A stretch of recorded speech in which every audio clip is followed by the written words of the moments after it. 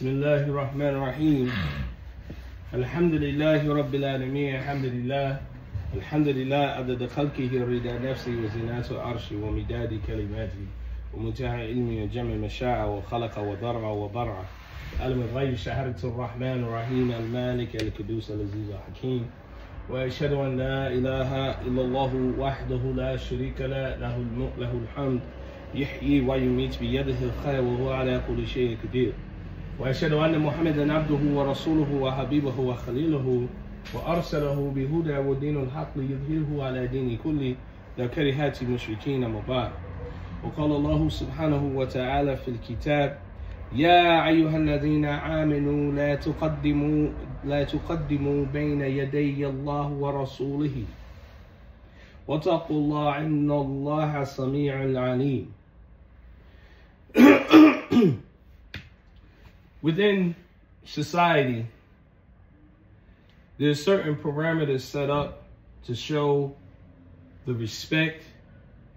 There's certain parameters that's set up to not only show respect, but the respect that you show also frees you from having contempt, especially in leadership. In the uneducated world, meaning they either don't know or they don't practice, there's very little respect for others. Matter of fact, respect is seen as something of weakness because in order to apologize, they feel that that's a form of weakness or a form of submission. But it takes a lot of courage to be a person that is apologetic or a person that takes, you know, account for their behavior or their misbehavior and so on and so forth. A lot of times in the everyday, you know, atmosphere, a day in the life of the Negro Muslim, right? Your whole interaction, even though you know a thing is sunnah, like for instance, something that's easily neglected. If you're angry with your brother, you have three days. After the third day, the Prophet ﷺ said, the one who gives the first salam, who gives the salam first, that's the person that's free from pride, right? Second thing, we think so highly of ourselves that we place ourselves above and ahead of the Prophet ﷺ when we ignore the sunnah and ignore the good behavior that we're supposed to be behaving with. This is what, if you look and go back and examine closely and examine the story of Adam salam, his origin, his beginning, and look at the behavior of Iblis, right? Or Shaitan as we also know him as. His behavior, he rejected Allah subhanahu wa ta'ala, right? Allah ta'ala told everyone that was present at the origin of Adam salam to make sujood and Iblis said, I'm not doing that. Ana ahsan minhu. I am better than him. Alright? And so oftentimes our behavior displays that. And so Allah Ta'ala tells us in Surah Al-Hujurat, يا أيها الذين آمنوا لا تقدموا بين يدي الله ورسوله. All you who believe, don't put yourself before Allah and His Messenger. And we do that quite often, right? We'll justify it. There's no paradise without sacrifice. You'll have Muslims, they'll say, oh, I don't like wearing a kufi because nobody else wears a kufi. So you neglect. I don't want an imama. It's not a thing about, it's not even about uh, uh, whether it's a obligation or a sunnah.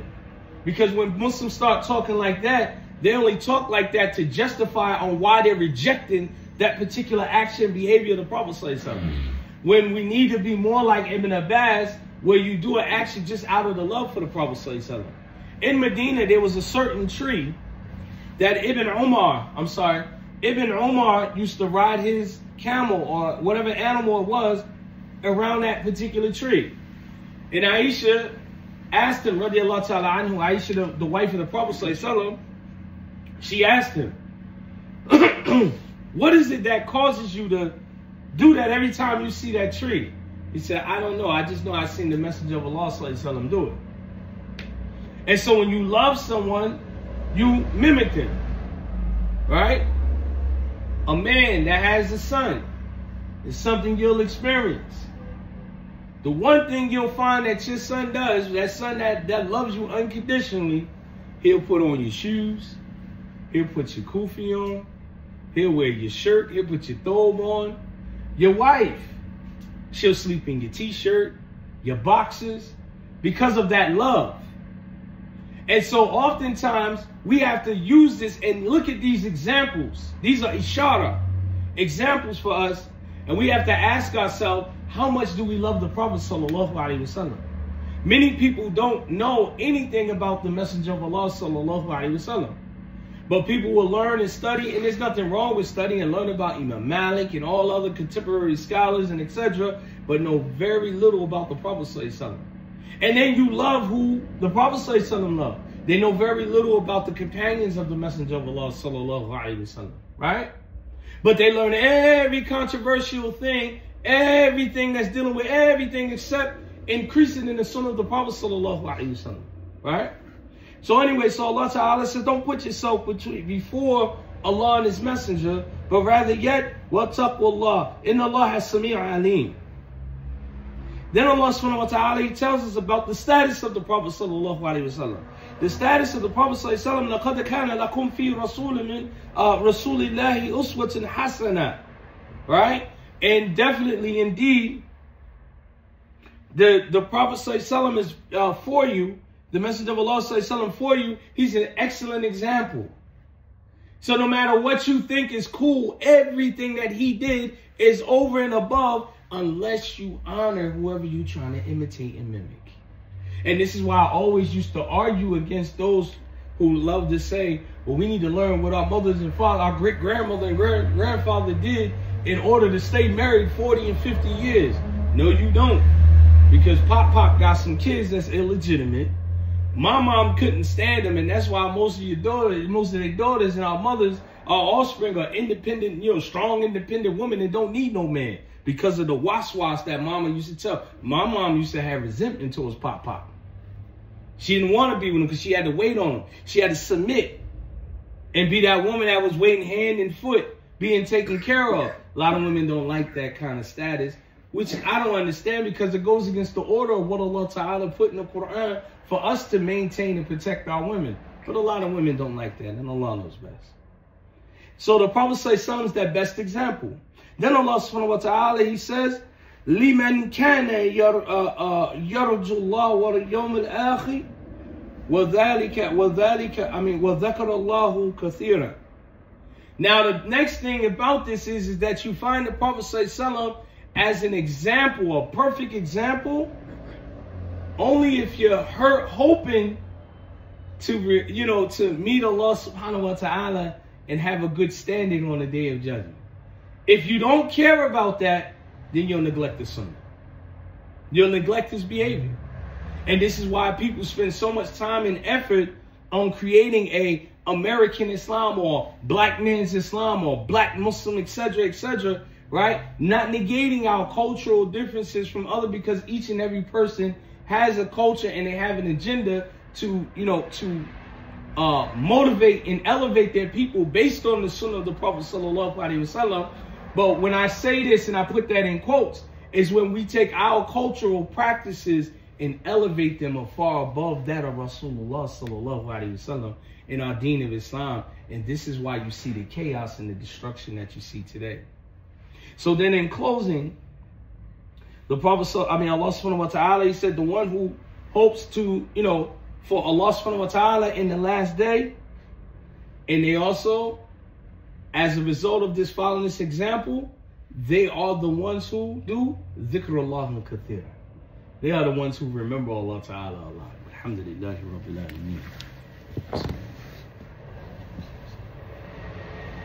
Alameen. بسم الله الرحمن الرحيم والحمد لله رب العالمين وصلى الله على سيدنا محمد وعلى آله وصحبه وسلم ورضي الله تعالى عنه وسرد التابعين وعلماء عاملين وأئمة أربعة المجتهدين ومقلديهم إلى يوم الدين وبعد I want to read you this hadith and then I want to leave you with this dua. The dua is a beautiful dua. It actually is a dua that if you make it, you memorize it and make it consistently. It's a dua that takes care of your youth or when you become, you know, a young adult until your old age. It's a dua. It's like a secret. And sometimes we overlook it. This hadith of the Prophet Sallallahu Alaihi Wasallam, I want to mention because when you're into trying to revive the sunnah of the Prophet Sallallahu Alaihi Wasallam, right? Like our master's namesake, Sheikh Uthman Dan Fodio Taqaddam bi Rahmati Amin, his whole movement was centered around revival of the sunnah of the Prophet Sallallahu Alaihi Wasallam. He wasn't just only a faqih, but he was also concerned on re- reviving the practical practices of the hadith of the Prophet ﷺ based on the methodology of Amal Ahl Medina, right? Not exclusively to, but broadened sense, right? In this time, you find people only on a segmental or fragmented type of Islam. They're either all madhabs, right? Or they're all hadith, or they're all ashri, or they're all the way Salafi, but they're everything except a whole complete follower of Muhammad sallallahu alaihi wasallam. Their agenda and their focus, I'm not saying that they don't follow whatever aspects of the sunnah that they can, but their agenda, the thing that they push, is what they what they lead with. If they're Salaf, they will lead with Salafism. If they're Ashri, they will lead with Ashriism. If they're, you know, whatever that thing is, if they're, they're followers of whatever, they lead with that versus the character and the behavior and reviving the mu'amilat, the practices of Muhammad sallallahu alaihi wasallam. So when you find that you come into you come into uh, people where the sunnah of the Prophet sallallahu his character, his behavior, the agenda, it can be offensive and inflammatory to those who hate the Prophet sallallahu alaihi wasallam. So the Prophet sallallahu he mentioned in the hadith, he said, "Men tamassa ridwan Allahu bi sukhti an-nasi, fakafa Allahu mu'na uh, uh, مؤنة الناس ومن ومن تمس رضوان الناس بسخط الله وكل وكله وكله الله إلا إلا الناس so Allah, the Prophet sallallahu alaihi wasallam mentioned in this hadith that whoever seeks to please Allah subhanahu wa ta'ala, even if it upsets or make people upset, you'll find that Allah ta'ala will take care of their needs. Right? They're not worried about what the people think or what they got to say because they know that their sustenance is from Allah subhanahu wa ta'ala and Allah will take care of their needs. But however, Whoever seeks to please people, even if it makes Allah Ta'ala angry. And this is something that we practice a lot, right? This is something that we practice a lot. We don't care about the outcome or the results of the behavior, whether it's something that Allah Ta'ala will be pleased with, we're ready to risk it all, right? And whoever seeks this to please the people, even if it's something that goes against Allah subhanahu wa ta'ala, Allah will leave them to the people. Now you'll be lost in your thoughts. Now you'll be lost chasing the people and not chasing Allah subhanahu wa ta'ala. So in closing, I want to mention this dua. The first line of this dua, the Prophet sallallahu alaihi wasallam, he said, "Allahumma inni a'udhu bika min ajzi wa kasali uh, wa kasali wa bukhli wa jabni wa uh, wa harrami wa adhabu qabr." The first part of this dua, the Prophet sallallahu alaihi wasallam, he said, "Oh Allah, inni a'udhu bika min al-ajzi." Oh Allah, I seek refuge with you from inability, right? Where a person can't successfully complete anything. Right? First thing, as a young man, what do you do? You set off, you make your intentions on whatever it is that you're trying to accomplish. What Allah Ta'ala, you're asking Allah Ta'ala. And sometimes this may be the key because sometimes you may fail at a thing, but it's that so that Allah subhanahu wa ta'ala will alert you, you know, that you're alerted to turn back to Allah Ta'ala, to seek Allah Ta'ala's assistance, because the believer never does anything alone, not without Allah subhanahu wa ta'ala. Right? Learn to become reliant on Allah. Even if a person lost their car keys, right? There's an old there's an old uh, story from Abu Hanifa. It was a man, he lost something that was very valuable to him. Abu Hanifa told him, and the man was a bit distraught, and he said, What bothers you? He said, Um, I lost so and so. And he said, Have you checked? He said, I checked everywhere, I can't find it, and it's really important to me. He said, Go make wudu and make two rakats. And I promise you, they'll come to you when you're making those two rakats. Right? Now, most people be like, be last, stuck for the law. You don't go and make two rakats to remember anything. There was wisdom behind it because Abu Hanifa, when you read about his life and his history, he was very witty. He was very smart, right? And so the man came back after he slammed out. He went and he found he found what he was looking for exactly where it was at. And he came back. He said, How would you know that? He said, Because Shaitan bothers you when you're praying. And you'll begin to remember everything. Right? If you forgot to turn the stove off, it hits you while you're praying two rakats. If you forgot to do something, whatever it is, it comes to you during those two rakats, right? So the inability. So then Allah Ta'ala, I mean, then the Prophet said, well, kasli, well, kasali, right? This is something that kills us all because, and if you look at it with a lot of people, this is something that's killing everyone, is laziness, right? We don't have no, no driven ethic. We don't have a driven, we don't have that motivation. Laziness. What stops you from praying tahajjud? Laziness. What stops you from memorizing the Quran? Laziness. You make up a lot of excuses on why you can't accomplish it and do it, but laziness is really the true underlying disease that's stopping you from doing what you need to do. Third thing he mentioned is bukhul, stinginess. No, we don't have to be a big community, but you give what little bit you got, and that little bit adds up, and that little bit that adds up gets barakah in it, and Allah multiplies it, and others do it. But if no one sees you taking care of your own community, then no one else want to take care of their community, take care of your community either. Bukhul, stinginess.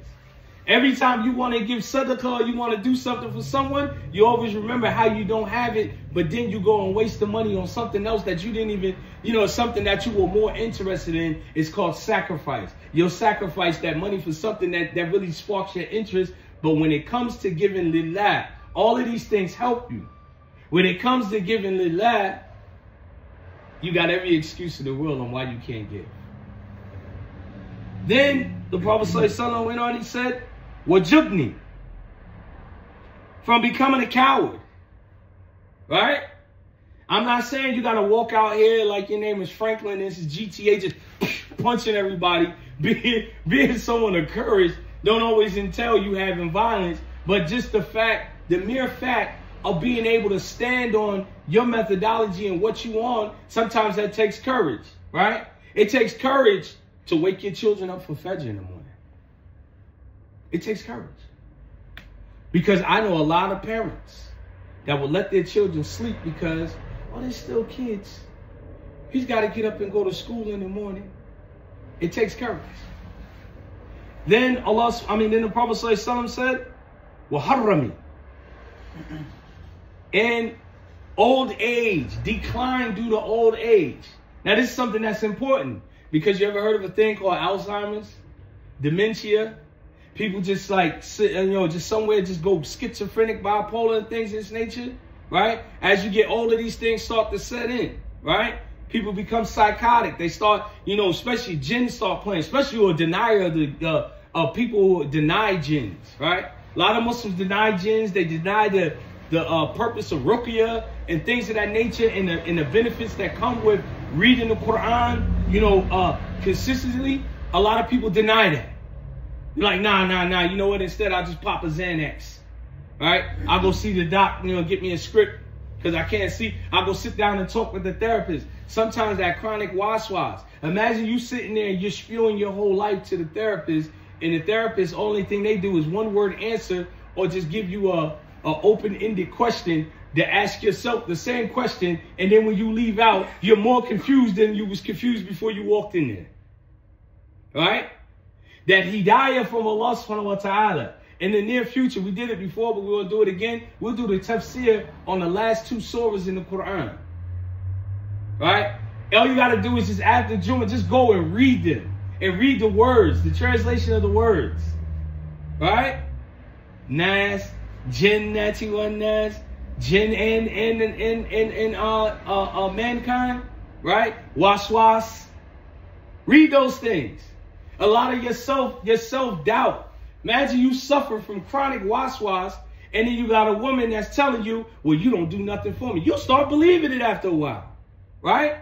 You know what you do and your intentions, what your intentions is. Imagine that. Imagine people telling you, you're not a good father because you don't have time for me. Well, if you go back to last week's khutbah, we talked about Prophet Ibrahim salam. You never heard that come out of the mouth of uh, Prophet Ismail, nor Ishaq, nor neither one of his two wives.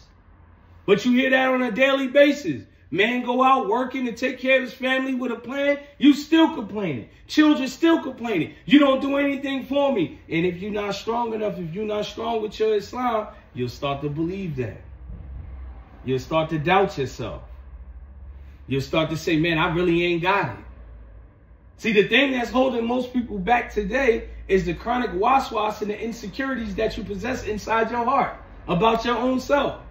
See, I'm not really righteous like the rest of the good Muslims. So now you use that as the excuse to stay in, stay in a state of sin or a state of weakness, right?